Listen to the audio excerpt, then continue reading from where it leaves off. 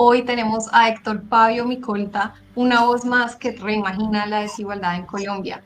Héctor es líder comunitario y líder artístico de Buenaventura y que pese a ser uno de los sitios más ricos del mundo, se ve golpeado por estas desigualdades eh, que nos invitan hoy a reimaginar precisamente cómo se puede construir unas nuevas realidades y cómo eh, el arte y la organización comunitaria son una parte central de estos procesos. El arte y la cultura son un vehículo que nos ayudan a expresarnos mucho más, mucho más allá de lo que pensamos. El arte eh, puede expresar mucho más allá de lo que quizás eh, un discurso pueda realizar. La libertad que da el arte y la cultura puede permitir llegar mucho más directamente. A veces el cuerpo expresa lo que las palabras no. Y desde las organizaciones pues, sociales y culturales eh, no hemos pensado de cómo este ingrediente del arte puede ayudar, digamos, a que mande un mensaje a través de lo que muestra, de una danza folclórica, de una obra de teatro,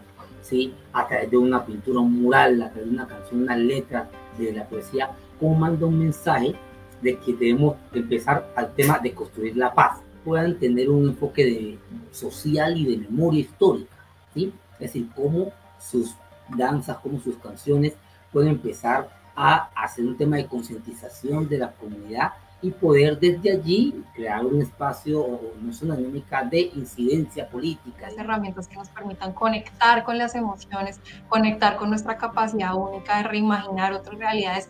Para eso el arte es una herramienta muy, muy, muy, muy poderosa, que el arte como no solamente una herramienta de arte, sino una herramienta para concientizar y una herramienta para la prevención, lo cual es súper importante en un contexto donde los jóvenes no tienen oportunidades más que vincularse a, las actividades ilegales y, a la violencia. El arte se vuelve casi como un escape y una resistencia a, esas desigualdades que hay. Están, como tú lo dices, los artistas en territorios como Buenaventura haciendo una labor de crear arte, de alzar la voz en contra de las desigualdades, de la ocupación del territorio, de la extracción, del racismo. Se está haciendo eh, ese esfuerzo por parte de los artistas cuál es entonces el rol de los consumidores también de consumir ese tipo de contenidos eh, identitarios y contenidos con, con, transformación social, con trasfondo social, cuál es la responsabilidad también de los colombianos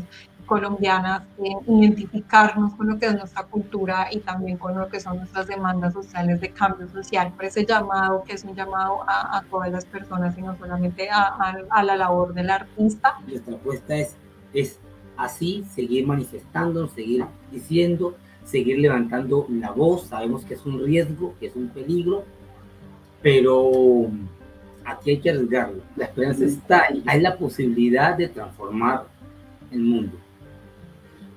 Una sola persona no lo puede hacer. ¿sí? Eh, muchos y muchas sí podemos.